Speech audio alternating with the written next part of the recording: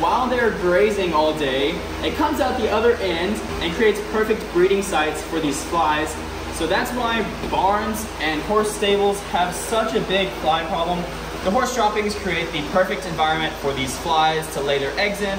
They turn into maggots and then hatch out into more flies. As you can see, it only took a few minutes to apply this to Mr. Jerry here. So we're going to take him back outside so he can enjoy the rest of his evening.